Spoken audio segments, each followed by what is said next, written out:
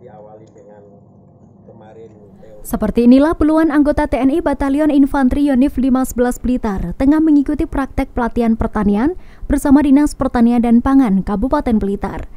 Para prajurit TNI ini dibekali ilmu pertanian dengan dilatih cara bercocok tanam yang benar sebagai bekal untuk mendukung ketahanan pangan. Saat nantinya mereka ditugaskan sebagai Satgas Pengamanan Perbatasan Indonesia di Papua Nugini. Oleh Dinas Pertanian, para prajurit ini dikenalkan teknik mulai cara mengolah tanah, bercocok tanam, serta merawatnya hingga panen, dan bekal ilmu bertani ini nantinya bisa diterapkan di tempat tugas dan juga mengedukasi bertani masyarakat setempat untuk bercocok tanam.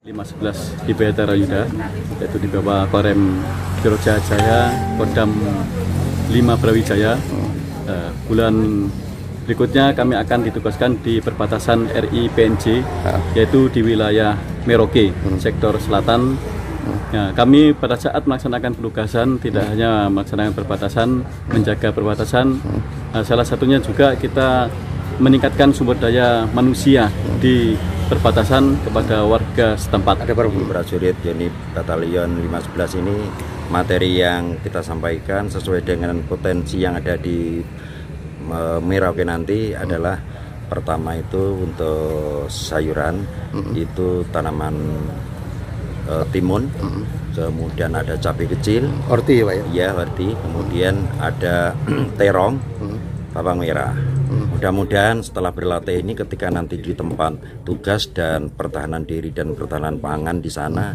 nanti akan bisa mempraktekkan walaupun hanya sedikit ilmu yang didapat dari berlatih ini.